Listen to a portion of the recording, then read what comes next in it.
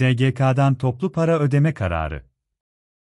Başvuranlar 144 bin Türk lirası alıyorlar. Sosyal Güvenlik Kurumu, SGK tarafından toplu para ödemeleri başladı. Toplu para ödemelerinden kimlerin yararlanabileceği açıklandı.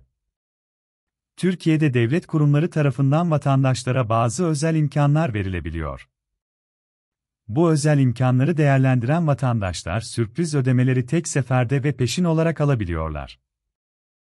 Böyle bir imkan da SGK tarafından bazı vatandaşlara sağlanıyor.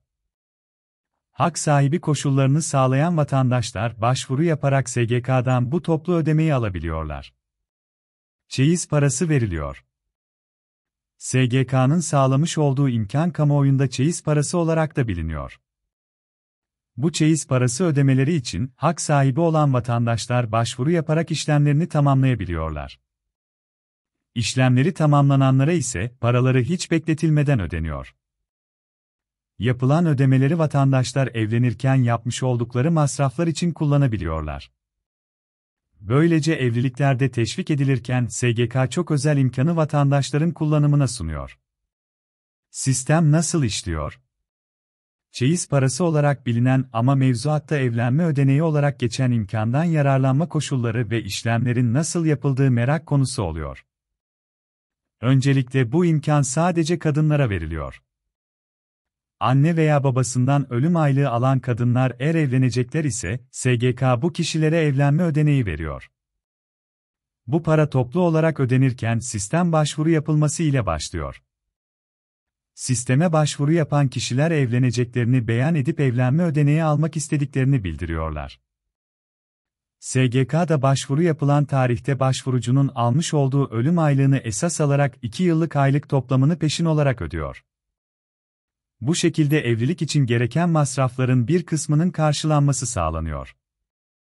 Alınan aylık ne kadar yüksek ise yapılacak olan evlenme ödeneği ödemesi de o kadar fazla oluyor. Ne kadar ödeme yapılıyor? Evlenme ödeneği kapsamında yapılan ödemeler kişiden kişiye değişebiliyor. 6000 Türk Lirası ölüm aylığı alan bir kişi 144 bin Türk Lirası ödeme alabiliyor.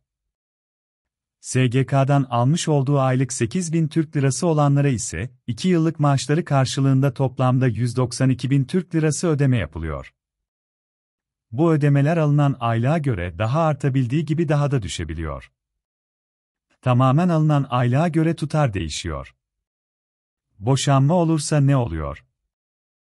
Evlenme ödeneği için başvuru yapıp SGK'dan ödeme alan vatandaşlar boşanmaları durumunda nasıl bir süreç ile karşılaşacaklarını merak ediyorlar. Kız çocukları boşandıklarında SGK'ya başvuru yaparak anne veya babalarından aylığa yeniden bağlanabiliyorlar.